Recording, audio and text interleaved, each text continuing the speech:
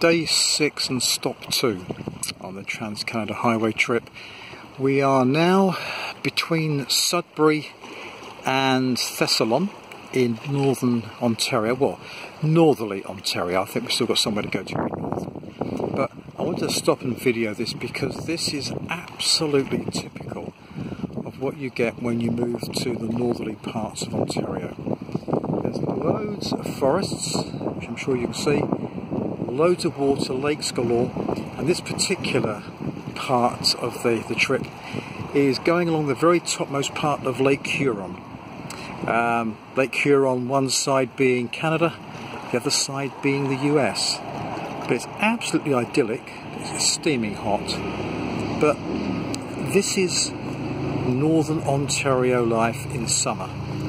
I think it's absolutely fantastic. Uh, the water's very clear, probably can't capture it on a video, but uh, I just had to stop and video this.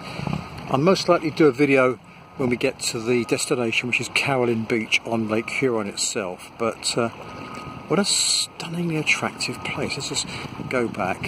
Whoever owns that boat, I envy him immensely. So yeah, there we are. Um, onwards and upwards.